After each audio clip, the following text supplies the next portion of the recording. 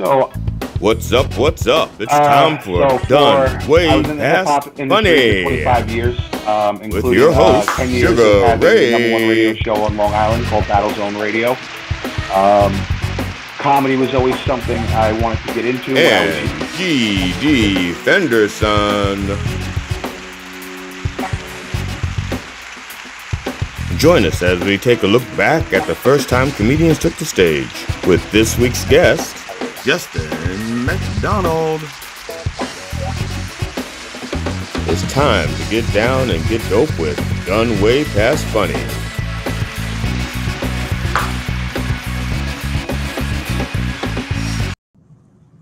Hi, welcome to Way Past Funny. I'm GD Fenderson, certified forensic humorist. I'm with my co-host Suga Rae, What's up, ladies and gentlemen? and in the middle, uh, like like a, a sandwich, uh, is our guest this week. That's uh, Justin McDonald out of New York, right?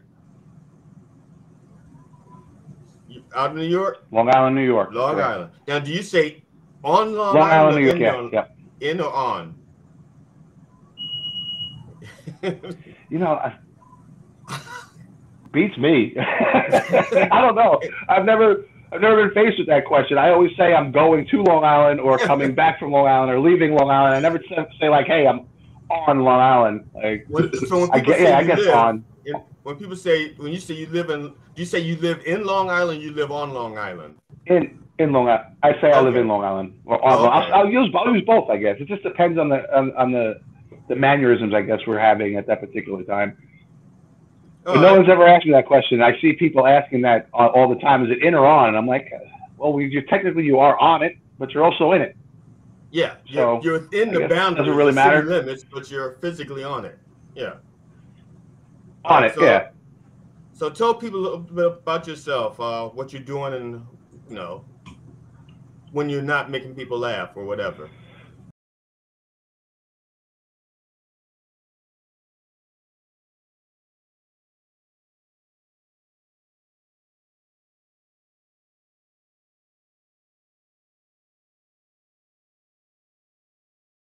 I didn't have the outlet because there wasn't anything really here for a 16 year old or a 15 year old to kind of do to try to get involved in comedy. So I went with music and I did music until I was in my mid 30s and then I started comedy. Um, I'm one of those people, I'm a, I'm a believer.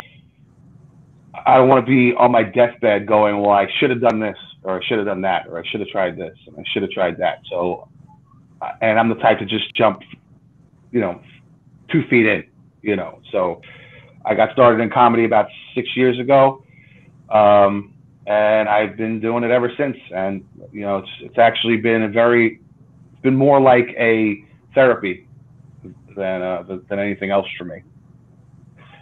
And plus, I'm an int- I'm, I'm more of an introvert. It helps me get out and actually meet people and talk to people. And uh, I, I have to say, the comedy world a lot different than the hip hop world as far as um, friendliness and and the non the non competition and and people being uplifting over uh, feeling like you're always at battle with someone. So you don't have, cause well, in hip hop, and I'm not a hip hop aficionado. Uh, the sheer fact that I use the word aficionado to describe my relationship with hip hop let you know that I'm not a hip hop uh, but but I, but, I, but I remember, I remember back in the day, we used to have dance offs and stuff when we, we had disputes and stuff. Uh, and I guess comedy could use a few of those dance offs. Yeah. I guess that, that's what No, the battle is. Yeah, yeah, yeah. You know, I was raised on '90s hip hop. You know, uh, '80s and '90s hip hop, and it was very rugged and very much um, street music. And there wasn't clicks just didn't get along. It was never like you'd go to another person's show and be like, "Yeah, good fucking job, man. Fucking great songs." Or you know, where with comedy, it's it's like the complete opposite. Comics show up to other comic shows. Comics show, uh, uh, show support. At least that's what I found here. I was about Uh, to say where- where- like where I'm there. I you live in a world where unicorns fart or something. you, you have that kind of com- you have that community out there, uh, uh, Rae. Y'all got that comedy love out there in Texas. I'm gonna say like this for everywhere I've ever been, there is cliques and there are people that want to get in. But other than that, I don't see any love. Like if ain't making somebody some money, they're not messing with you. Yeah. yeah, there's it's it's still clicky. It's still a little clicky where certain comics just you know they mesh together and it, it it's clicky.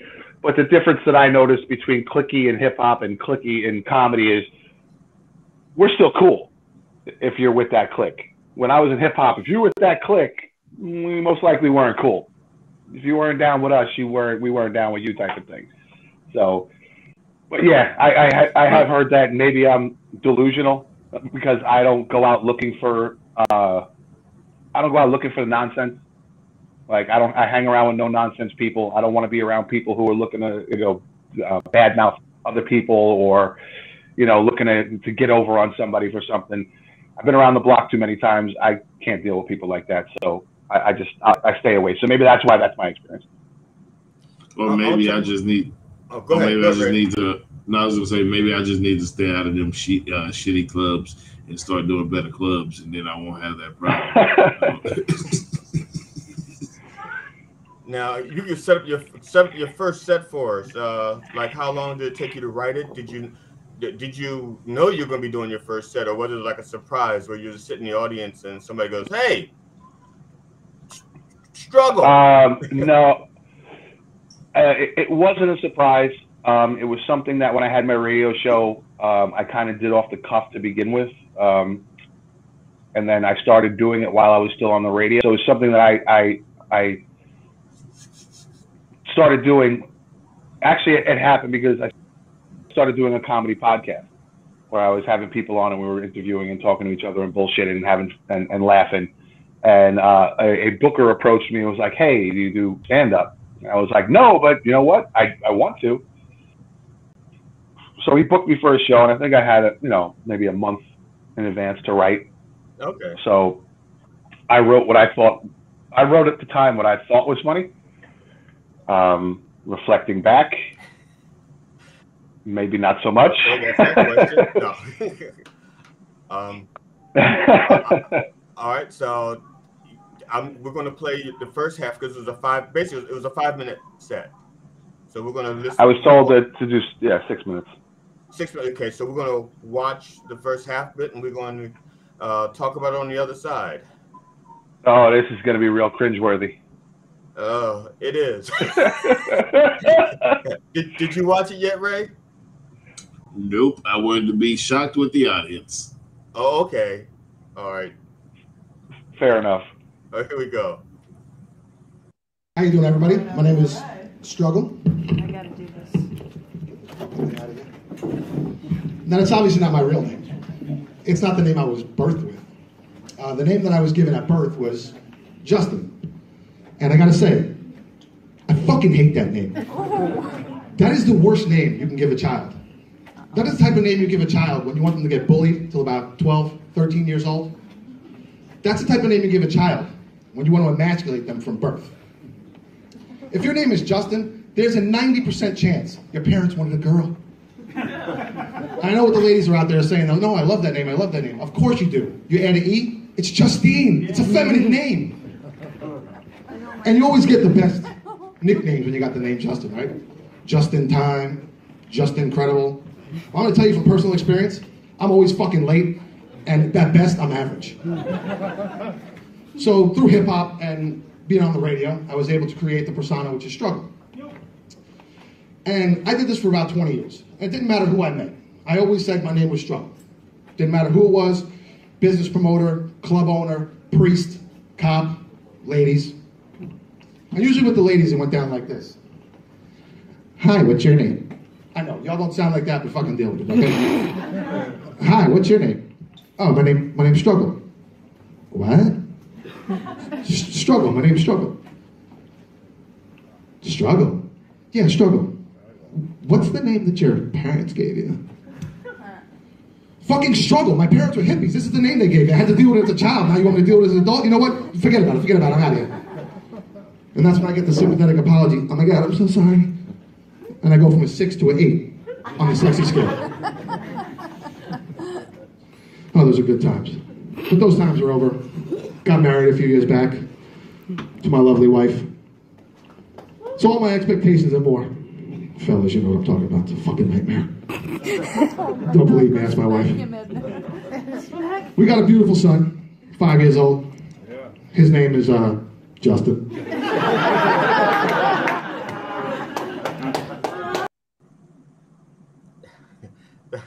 Now that uh, that actually is the biggest laugh you got for that. If I remember right, right? That's that was the biggest laugh you got for that uh, for your set. Yeah, yeah. Um, sorry, somebody tried to call me when they were in the middle of the video, and Oh, I think okay. my phones got disconnected. Okay. Can you hear us okay now? Just give me one second. I'm sorry, guys. Let me grab Oh, a that's all right. different set of headphones I can barely hear you. Give me one second. There we go. Sorry about that.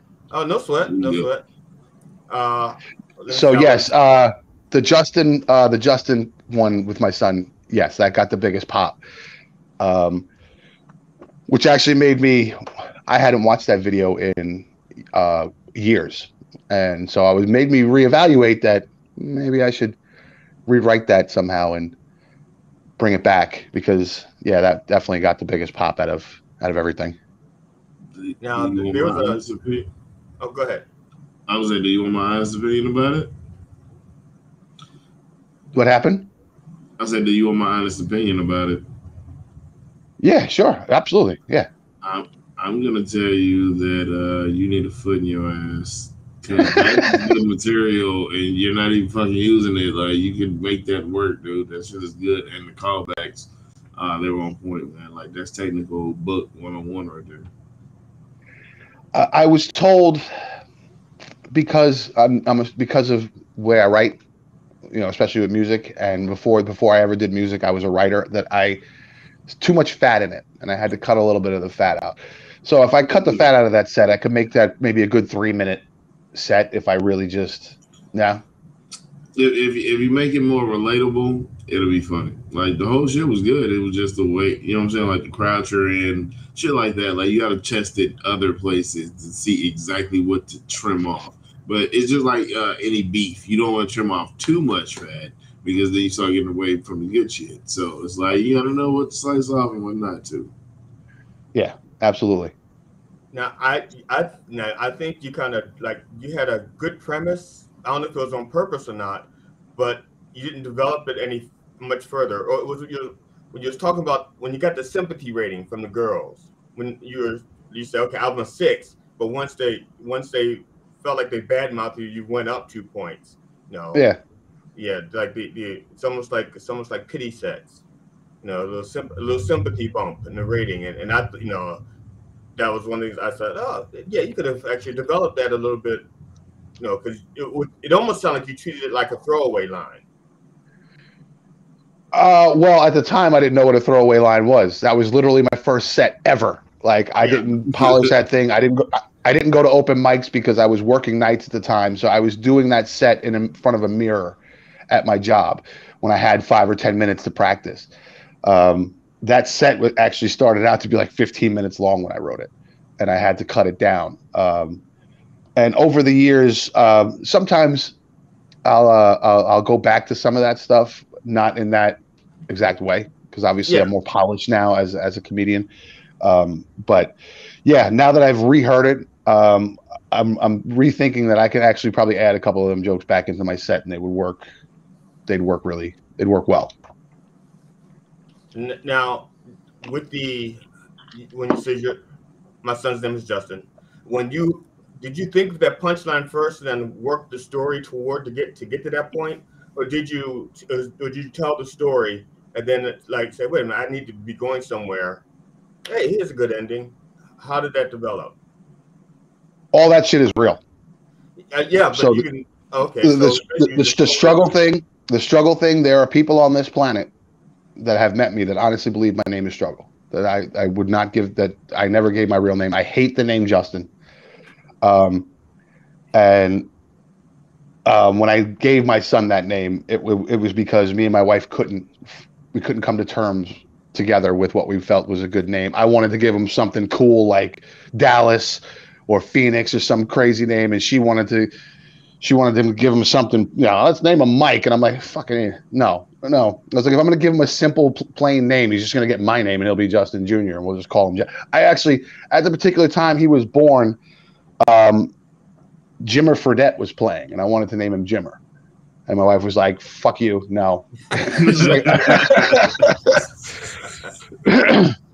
And so it ended up being Justin. But no, yeah, most almost all of that is is true, and it was just me basically finding what I do in my particular life as funny.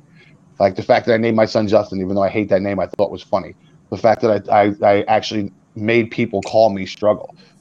I mean, there were girls at the time that I was sleeping with that couldn't call me by my name. They had to call me struggle. I would not But answer they- them by that you were name. sleeping with them. That's probably why they maybe they were struggling too. maybe, maybe. Like, Uh, well, I gave him struggling out. to enjoy this. Yeah, I, I gave him an out. I'm like, here you go. There's your out. You can just say it, struggle. Say my name. Uh, Yeah. Struggle. Yeah, exactly. They were like, when your parents picked you up from school, what did they call you? Struggle. That was my name. They could, can I get struggle out of class, please? Yeah. Yeah. No, uh, and yeah, like I said, it's it's one of those things that yeah, I, I mean, there's people on this planet that that you'll bump into, and you'll say, "Hey, do you know Justin McDonald?" And they'll go, "Struggle." like they don't know my real name. Like it's it's it's, and and once again, you know, from being in hip hop, that was my hip hop name. That name was given to me by Erick Sermon's sister. Kim Sermon gave me that name, so um, I took that name with pride. Um, over the fact that my parents named me Justin. I was more And you fact. let more- them talk you out of it. I, I let them talk, and I to be let him talk me out of it. You should be I let them talk yourself. me out of it. I should be. I should be. And and if I bumped, if I ever bumped into Kim Sermon, she would probably say the same thing. She'd be like, "What the hell did you do? Kim. Why'd you do?" Get him, Kim. I'm be in the background. Get him, Kim. Get him.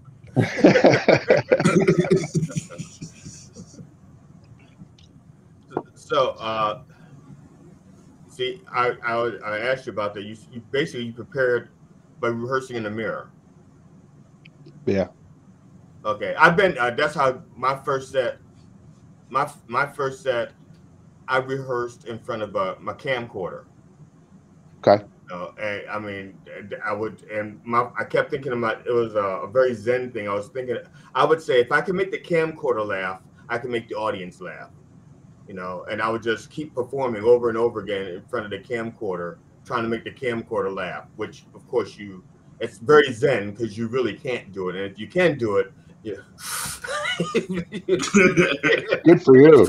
yeah, yeah, it's like, I, I want. I want whatever you're smoking. yeah, that's it. So that was, so like, Um, I, I I did it in front of a mirror because um, before I ever got into comedy, like I said, I was a huge fan of comedy. I watched. I used, to, I used to stay up late night when I was real young and watch Pryor, watch Kinnison, watch uh, Carlin, all all these different.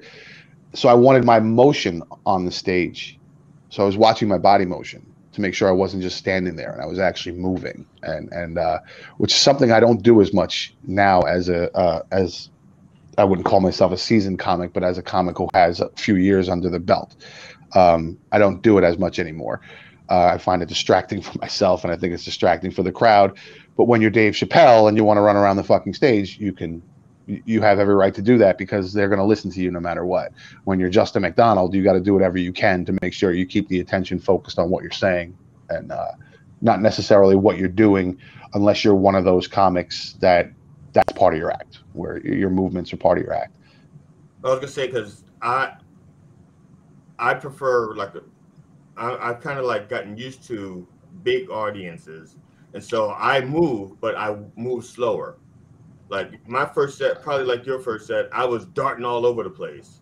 You know, you know, it was like HD was it ADHD on on on crack. You know, it's like you know, and I was all over the place. But I, I thought it was on purpose. But no, oh, oh it was on purpose because I had it was I was on stage with like an audience of like 200 people, you know. So I was trying to get everybody involved, but I was moving so fast that I was um, probably losing them as well. And the material wasn't that great either. So, so but I'm going to blame most of it on my movements and not the material. There you go. There you go. What do they say? What do they say? It's never the crowd. It's always you. which is which is complete and utter fucking bullshit. I'm sorry. Sometimes there's sometimes unless you're Bill Burr going off about how Philadelphia sucks in Yes, Philadelphia, that's the only way you're, you're if you're bombing that you're gonna get out of there out of that. Mm. Have you guys ever seen that clip? I I seen that shit, and I am I am with Bill on that one for for a little bit uh, because fuck Philly, Philly sucks. It does. Uh, most of them up north states suck, and you guys know it. So don't I have, ten- I have a tendency to I have a tendency to agree. I, I, I, I hate where I live. So actually I, I enjoy northern New York. I like being in the mountains and on the lake and shit and fishing and shit like that. But I, I hate lower New York. I'm not I don't like the big crowds and I don't like being around a lot of people. Um in the sh- you know, not necessarily I love being in front of a big crowd and, and when there's an audience, but when I have to rub shoulders with people to get to the fucking comedy club, that's when I'm like, oh Jesus Christ. So It, it shouldn't be like that at all, but it is for some strange ass reason. Why is that? I gotta deal with I don't like just to get on a freaking show. My talent should get me on the show. I I Listen, everybody, everybody, everybody that I know that ever moved out of New York never fucking came back. So that, that tells you something right there. well, I, I'm kind of in, under the impression that some of the people, a lot of the people who become comics, become comics because they need therapy, and comedy is how they get their therapy or do their therapy or work out their shit. And so, True. the people who are making decisions on whether or not you can be on their show are dysfunctional to begin with. So True. if their dysfunction, or if your if your comedy makes their dysfunction more apparent, I don't think you're going to get on their shows. If your if your dysfunction, because your if your dysfunction complements their dysfunction, or makes Yes. their dysfunction look okay, then you'll wind up on stage with them. I don't wind up on stage with anybody locally. Uh, not, I mean, I don't. I literally, if I get more work, I I get more work out of the state of Maryland than I do in the state of Maryland every year. Have Have you ever done uh, the Magfest down in Maryland at the at the Gaylord Hotel? Fagfest at the Gaylord. Yeah, the Gaylord Motel. It's actually down towards. It's it's literally at the end of Maryland. It's at the border of Virginia and Maryland. It's a music, arts, and gaming festival. I don't know if they do comedy there anymore, but I did a I did a uh, I did a comedy set down. I drove from New York down to Maryland. Um, they they paid for my room, um, paid for all my accommodations pretty much. But it's a it's music, arts, and gaming. So it was extremely weird. Like half my people, I had about two or three hundred people in the audience, and half of those people were fucking furries.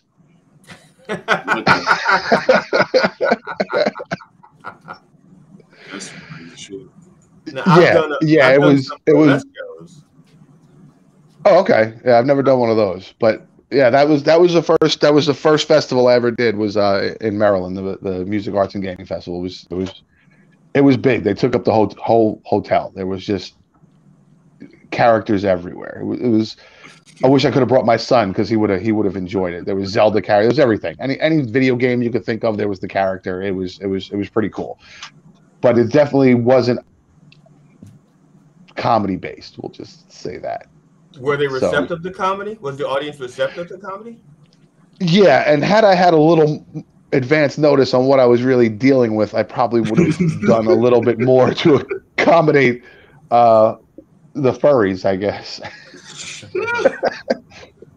um, you didn't have but any funny furry material? No. no, no. Uh, also, you know, it wasn't as this was a few years ago, so it wasn't as popular as it is now, I guess, um, in society with with the furries. Uh, Nice people, nice people, but there is some shit that I don't want to be involved in.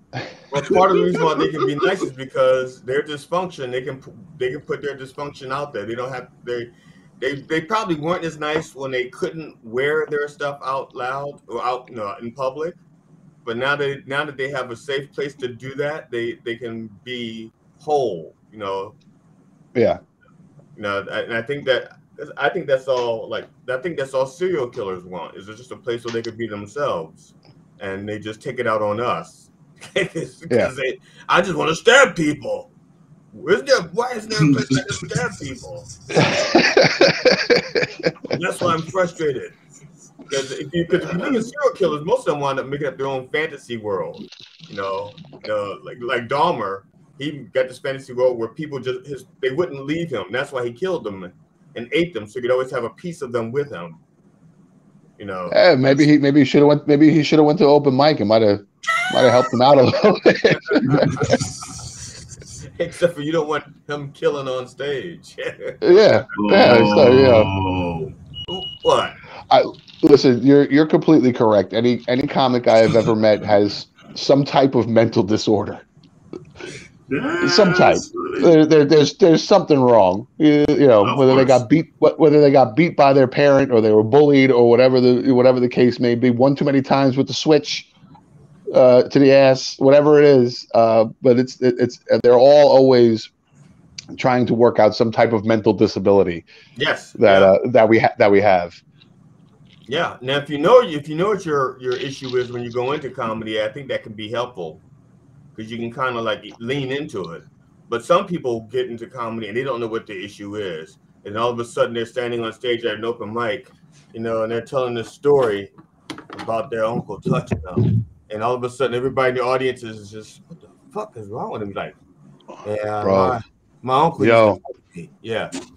Yeah, Yo, yo, I I had that happen. I had that happen at an open mic. This guy talked. This guy started talking about his first time having sexual engagement with another man, and how it was awkward for him. And he was doing it at an open mic, and I was just like, I don't, I can't. I, no, I, I'm gonna go outside and smoke a cigarette. the kid, the kid was a little nutty. I mean, to begin with, but like he thought that this was going to be funny, and he like explained from beginning to end what exactly happened, and there was no comedy in this whatsoever. I'm like, you're just talking about your sexual engagement with another person, and I'm fine with whatever you want to be, but I don't need to hear this shit. I didn't come to here. I didn't come here for this. came here to pra- came here to practice comedy and get the fuck out of here. I don't. I don't. I don't want to hear about how your step uncle uh, came in your room one night and diddled you. That's hilarious. and, and said you're gonna thank me one day when you're on stage telling a joke about it. Yeah, yeah. At least work out the joke. At least work out the joke. Like shit. Well, well, now he doesn't cry himself to sleep. He actually laughs himself to sleep. yeah. Or cries. Or cries. Who knows? he laughs until he cries. I I was at a I did a show where like so I'm well, I'm 60 I'm 63 and the host was Uh, you don't look at it. You don't look at. You don't look at day past forty one. So that's why I you. only show this much. If I show anything below here, you're like, oh my god, he's only 63. Those tits, those are those are 75 year old man tits. You know that's why the camera is like this. That's that's why this is like this. Rae saw Rae saw more of me, and he goes, you know, can we make it a smaller set? I'm like, why? No. So I would have poked my eyes out. I didn't see any of that. Don't let him lie to you. I'm like, I, I, I'm like, what's up with him? Can't see shit. else. Yeah, Rae, was, Rae said, "Wear that shirt with the yellow stripe, so you don't show anything below the yellow stripe." So that's that's uh. So every show, I, every one of these episodes, I'm going to be wearing this shirt, so they know not to show anything below that. Hi, I'm GD Fenderson, certified forensic humorist and co-host of Done Way Past Funny. My pronouns are asking for way too much money, and my amateur nouns are uncoachable. This episode with special guest Justin McDonald ran way beyond our 30 minute runtime for our show. So we have made it into two 30 minute shows. You have just watched part one. Please join us on our next episode for part two. And when you come back to join us, bring a friend.